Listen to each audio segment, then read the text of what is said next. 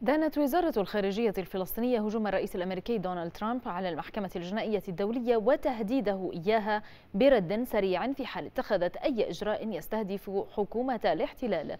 كما اعتبرت تصريحات ترامب بمثابة الحكم بالإعدام على الشعب الفلسطيني. التفاصيل في هذا التقرير.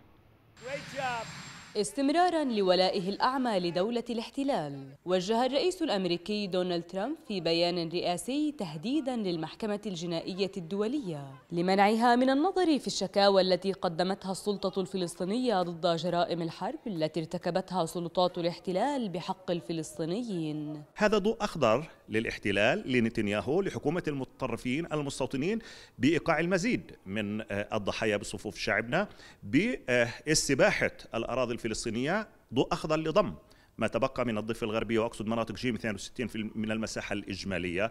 ولكن ترامب لن يستمر إلى الأبد وسياسة ترامب لن تفيد الولايات المتحدة على العكس تزيد من العداء الدولي للولايات المتحدة. هذا يستدعي أن يكون هناك موقفا دوليا حاسما اتجاه ما يجري في الولايات المتحدة وأيضا اتجاه هذه السياسة المتهورة اللا أخلاقية اللا إنسانية اللا قانونية.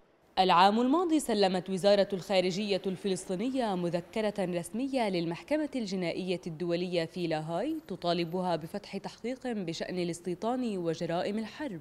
لكن وبعد المماطلة يبدو أن هذه المحكمة والتي تمثل الملاذ الأخير لتحقيق العدالة لن تستطيع أن تقف في وجه تهديدات الإدارة الأمريكية. المعيار الرئيسي للمحكمة الجنائية الدولية اليوم هي قضية فلسطين والجرائم الحرب التي ارتكبتها إسرائيل في فلسطين.